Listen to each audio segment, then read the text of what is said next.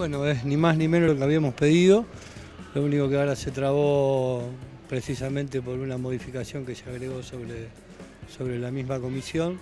Están debatiendo eso, pero nada, tenemos la, la esperanza de que va a llegar eh, para poderse votar el día de la próxima sesión.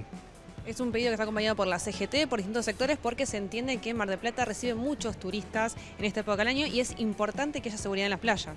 Está a la vista, vos bajás eh, y donde sale un poquito el sol, la playa está llena de gente, eh, de turistas y de marplatenses. Eh, cuando el clima acompaña, están sin, sin seguridad. ¿Esperan hablar con los concejales del oficialismo, que son los que en principio pon- se oponen a esta medida a partir de ahora? En realidad ellos no se oponen, la cuestión es que no lo creían necesario que fuera tan urgente, porque fue presentado el día 12 de septiembre, estar votándolo ahora.